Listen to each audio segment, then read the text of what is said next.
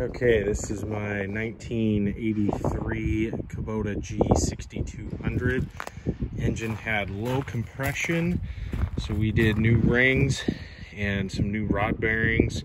Other than that, honed the cylinders, and uh, that was about it. Some fresh gaskets, a little bit of cleanup. I found this little turbocharger on an old machine out back and thought, hey, what the heck? So pardon my crappy welding skills, but I built this uh, adapter plate to go from the three bolt flange on the manifold to the four bolt flange on the turbo. Plus I pushed it up here out of the way. So got creative with the turbo piping, uh, some old rubber hose, some random stuff that I found laying around. We'll see what happens.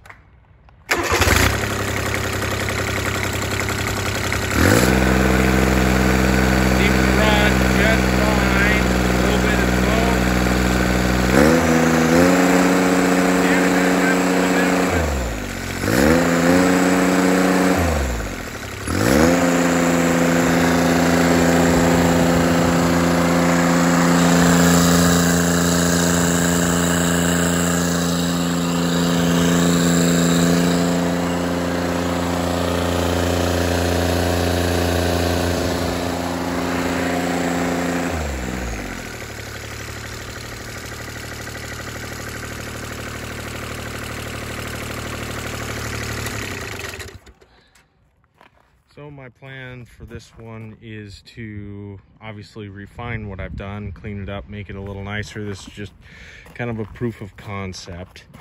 Um, but I would like to eventually fix it up nicely, put it, uh, you know, get the hood put back on and maybe even put the mower deck back on it because the mower deck is in really good shape. So that's my plan. Still needs a little cleanup, little touch up paint, but we'll see where she goes from there.